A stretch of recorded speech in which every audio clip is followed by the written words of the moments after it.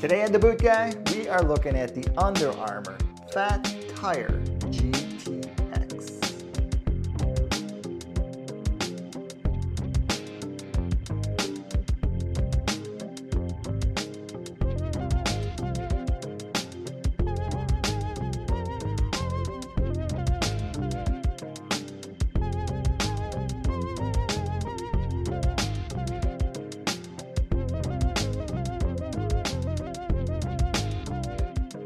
Now, in 2014, when the Fat Tire was previewed, it really was a game changer. This boot really changed the whole idea of what people thought was possible in the boot market. Now, in 2014, you got to think we were just getting started in the whole renaissance of heritage type boots. Though they've been around for a while, it was really becoming a thing. There was momentum growing around that market.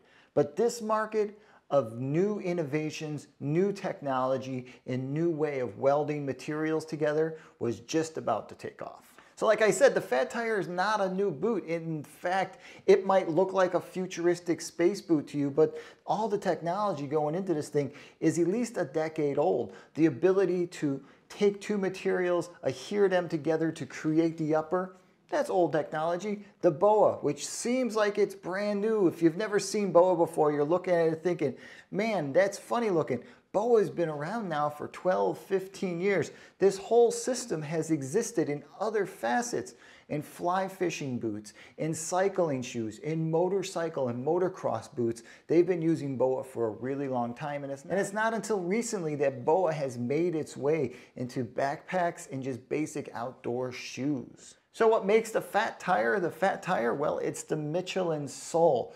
The top layer of this sole is some mixture of rubber and urethane that, that Michelin and Under Armour have worked out together that is extremely grippy. Now I have to say, me reviewing this boot is not on my own. I've had many requests from guys that actually use the Fat Tire as a training shoe and just as an everyday hiking boot. And they have convinced me that I needed to review this boot. So that's why I'm finally getting here. So the Michelin sole is grippy, it's sticky, it is a wonderful sole when you want traction all those little knobs, all those little spaces, all the angular cuts all through those little sections are pure grip. Now the fat tire aesthetic, this whole big fat thing that's sitting on the bottom of your foot that looks like it's a big balloon or a big air cushion or maybe a hovercraft, is basically that. That's all soft urethane. From the upper to that hard sole, that whole midsole there is a soft urethane compound that you are sitting in. Now, the thing about the fat tire that I was really surprised at is that that urethane and where your foot is actually placed in relation to that softness in the back is pretty much to the edge. But as you move forward past your arch into your forefoot and into your toe section, you are actually sitting underneath the layer of urethane. So that means that you're getting more support as you move around in the fat tire. So when we open this thing up, what we notice is that we get a Capron insole that is a urethane-based insole. It is perforated so it promotes airflow inside this boot. Because remember, we're talking Gore-Tex. Now it's not a Gore-Tex booty. The Gore-Tex actually stops at the hard footboard. It's a stitched down to Gore-Tex design all the way to the top of the upper, all the way to the bottom of the footboard. So it's not a full-footed Gore-Tex booty. So what that means is they can actually get a better shape and form inside the boot, creating a more minimalist approach to the whole design. Now the padded collar that you feel falls all the way through the whole boot. The whole upper has a beautiful padding to it. But with that padded collar, what you get is this nice cutaway in the back. And that's what promotes this boot as being more of a training boot in less of a just a hiking boot or a standing around boot. This boot is an excellent boot if you're going to really be out on the trails, actually training and working out and just doing that whole cross training, crossfit type activity. The Fat Tire is an excellent choice for that type of activity.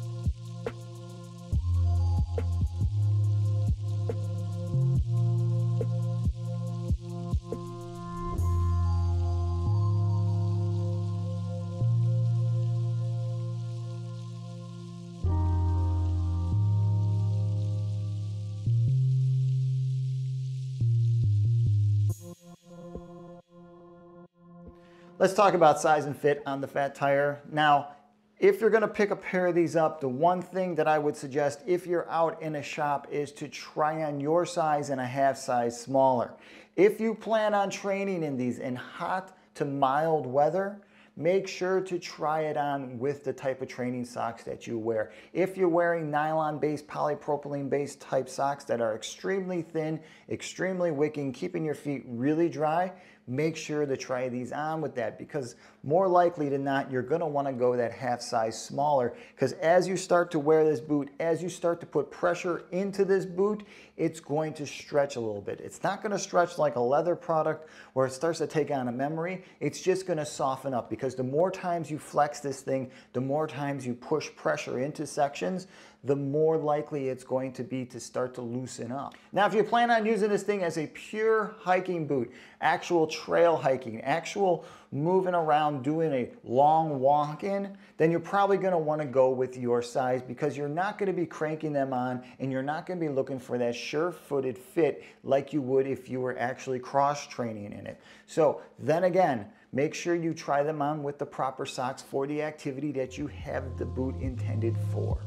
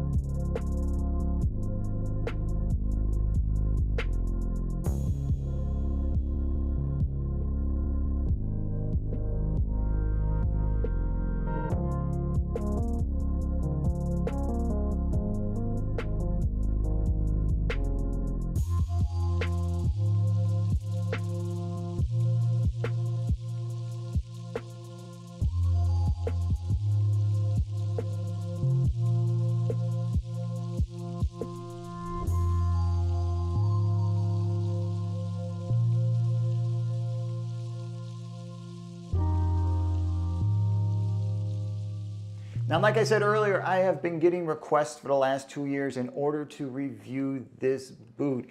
And it's about time that I got here. I am really impressed with everything that goes into the design and the function of all the Under Armour products I have reviewed so far. But the Fat Tire really stands out because there is an amount of technology, even though it's kind of old now, it's 2014, 2015, right at the top of when putting materials together like this was really something. But for its time, for its place in history when it comes to modern footwear engineering, the Fat Tire really did carve out its own niche.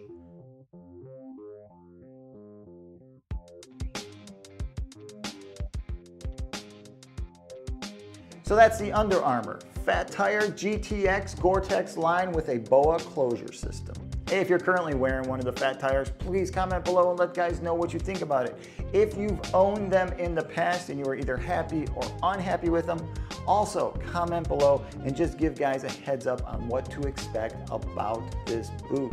If you want to see some of the detailed pictures of the BOA system, of the interior of the boot, or just the way the actual sole is attached to the upper, all the little nooks and crannies that are going on inside this boot, swing by to bootguy.com. I will have a full blog posting all about the Fat Tire. Please don't forget to hit my subscribe button below. You know it really helps out. If you're on Instagram or Twitter, follow me there and please check out my new Facebook page. Hey, if you're about to pick up a pair of these and you just got a few questions about size and fit and about the activity you got planned inside this boot, feel free to shoot me over an email. All right, until the next time, I'm the boot guy. Thanks a lot for watching.